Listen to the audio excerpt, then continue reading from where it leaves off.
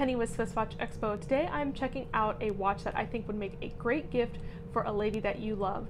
This is the Rolex Pearlmaster. The Pearlmaster collection from Rolex is considered the pearl of the oyster collection, and it's the cream of the crop not only for the exterior luxury but also for the interior. It's got some very, very reliable movements inside. Outside, they always make everything on the watch completely out of precious materials. So this watch is 18 karat white gold with a diamond bezel, diamond hour markers, and this beautiful, subtle, rosy pink mother of pearl dial. I think white gold is a great choice for ladies because it makes it very easy to mix and match with almost any outfit, and I think it makes it a lot more practical for everyday wear.